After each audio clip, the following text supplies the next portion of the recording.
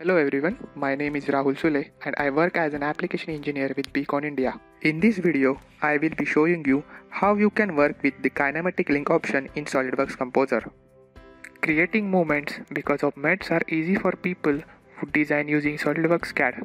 But what about people who are only concerned about the documentation part and not the complete design?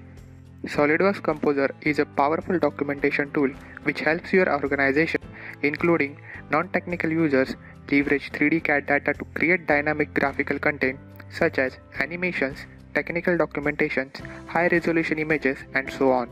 It also contains Kinematic Link, which is an easy-to-use tool for creating linear and rotational translations.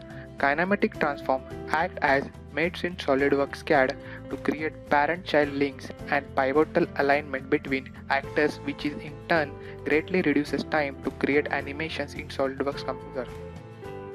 So here we go, under the transform tab there is link option available. I will use link child to parent type connectivity and select a component I want to treat as child and then a component I want to connect to. So I follow the same thing, click child and then parent.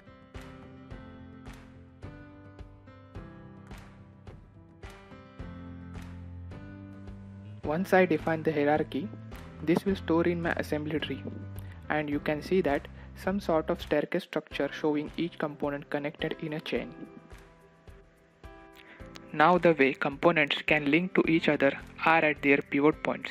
So we must set pivot of each component. Before starting this, if I hit the multiple gizmos button, then select everything, then it will show us the default location of pivots. But we don't want that, we want to set it at a very specific location. So we will use the set pivot on line or axis option to set pivot of that component.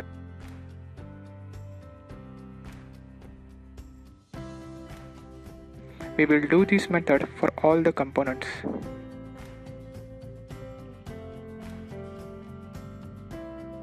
Okay, so let's select everything again with that multiple gizmos option turned on and we see that the pivots are at right location but what we like to do is we want to realign all the axes with the world axis so that they can follow the same direction of XYZ.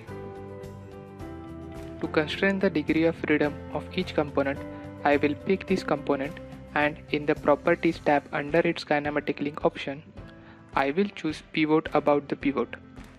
Let me turn on the degree of freedom marker so that it will show me the arrow. So currently it is rotated about z axis. We don't want that, we want to rotate it about y axis.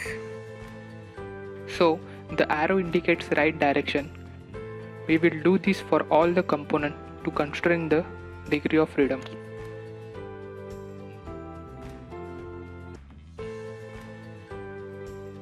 Now let's test our assembly. Click on the animation tab.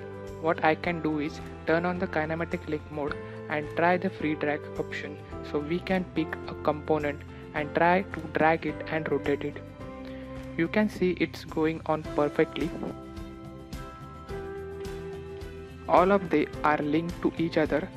Now we will use this advantage to create animation.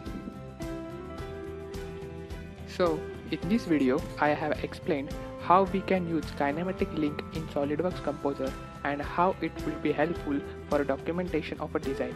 We can also create complete manual using SolidWorks Composer. Furthermore, you can also make use of SolidWorks motion analysis in simulation to accurately simulating and analyzing the effect of motion elements.